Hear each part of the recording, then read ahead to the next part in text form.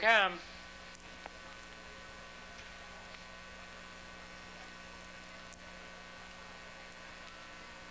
Mark Andrew lagged behind. They're off and trotting with the Colonel Skywalker.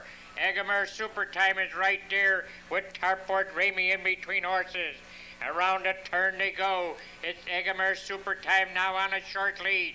Park second on the outside. That's Tarport Ramey. That's Bayou Billy in third. Coming on fourth now, the Colonel Skywalker. It's Gentry Action. Paris Light, and far, far back after that early miscue is Mark Andrew. From the outside now to get that lead is Egamer Super Time. Tarport Ramey is still right there in second. Bayou Billy at third. Coming on fourth now is the Colonel Skywalker. Gentry Action is still trotting in fifth. and sixth now It's Paris Light. The first quarter was in 28 and 1.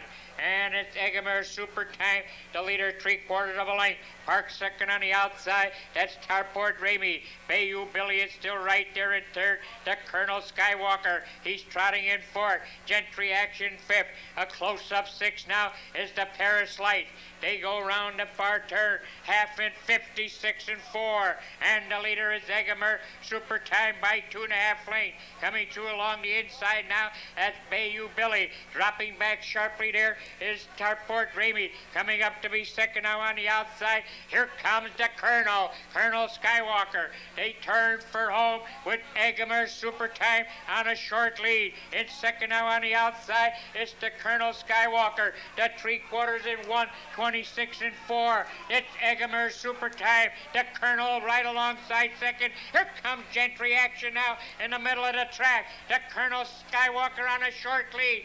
Gentry Action is coming on. It's Colonel Skywalker on the inside. Gentry Action on the outside. Colonel Skywalker with Gentry Action. Colonel Skywalker, Gentry Action, and Paris Lights. The mile in 157 and 1.